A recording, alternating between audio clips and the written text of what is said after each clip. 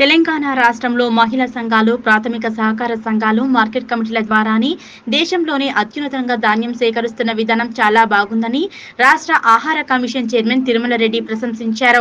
మెదక్ జిల్లా తూప్రాన్ మండలం యావాపూర్ ఐకేపీ ద్వారా నిర్వహిస్తున్న కొనుగోలు కేంద్రాన్ని గణపూర్లో వీరభద్ర రైస్ మిల్లును తూప్రాన్ పట్టణంలోని రేషన్ దుకాణాన్ని రామయ్యంపేటలో మార్కెట్ కమిటీ ఆధ్వర్యంలో నిర్వహిస్తున్న కొనుగోలు కేంద్రాన్ని కమిషన్ చైర్మన్ ఆ కమిటీ సభ్యులు గోవర్ధన్ రెడ్డి శారద భారతులతో కలిసి పరిశీలించారు. ఈ సందర్భంగా వారు మాట్లాడుతూ దేశంలో రాష్ట్రంలో ఆకలిని రూపమాపడానికి ఆరోగ్యవంతమైన జనసంపదను పెంపొందించడానికి ఆహార భద్రతా చట్టం రెండు వేల పదమూడును అమలు చేస్తున్నామన్నారు.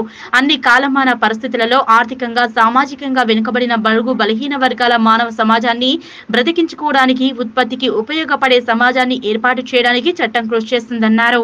చట్టానికి ప్రధానమైనది ధాన్యాలు సక్రమంగా సేకరించి తినడానికి ఉపయోగించే విధానంలో జరుగుతున్న ప్రక్రియలో ధాన్యం సేకరణ మిల్లింగ్ తదితర ప్రాసెస్లను పరిశీలించడంతో పాటు ఇంకా కావలసిన అవసరాలను లోటుపాట్లను గుర్తించి సూచనలు సలహాలు చేయడానికి ఆహార కమిషన్ భద్రతా కమిషన్ క్షేత్రస్థాయిలో పరిశీలిస్తుందన్నారు. అందులో భాగంగా నేడు తూప్రాన్ రామాయంపేట కామారెడ్డిలో పర్యటిస్తున్నామని తెలిపారు.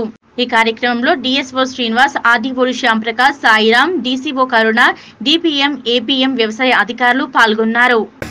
రెండు వేల పదమూడును అమలు చేయడానికి దేశంలో ఉన్నట్టు ఉన్నటువంటి రాష్ట్రంలో ఉన్నటువంటి ఆకలిని రూపుమాపడానికి ఆరోగ్యవంతమైన జన సంపదను క్రియేట్ చేయడానికి అన్ని కాలమాన పరిస్థితులలో ఆర్థికంగా కానీ సామాజికంగా కానీ వెనుకబడి ఉన్నటువంటి వీకర్గా ఉన్నటువంటి మొత్తము మానవ సమాజాన్ని కూడా బ్రతికించుకోవడానికి ఒక ఉత్పత్తికి ఉపయోగంకి ఆహార భద్రతా కమిషన్ తెలంగాణ రాష్ట్ర కమిషన్ సభ్యులుగా మేమంతా చైర్మన్ నేను మాతో పాటు సభ్యులు వీళ్ళందరము మెదక్ జిల్లా కామారెడ్డి జిల్లాలో పర్యటించి కొన్ని క్షేత్రస్థాయిలో జరుగుతున్నటువంటి విషయాలను పరిశీలన చేసి సూచనలు సలహాలు చేయడానికి కొరకు రావడం జరిగింది.